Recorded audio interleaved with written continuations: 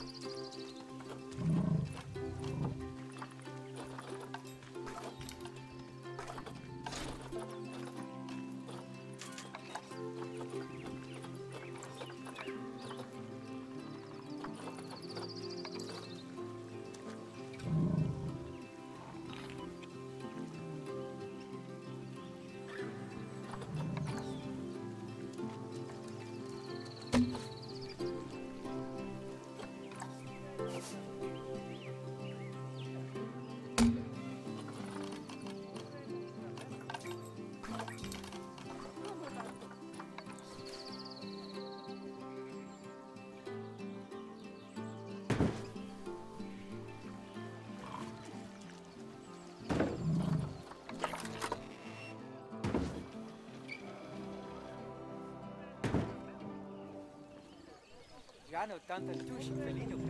Czekaj, ta świata. Niech stale, ale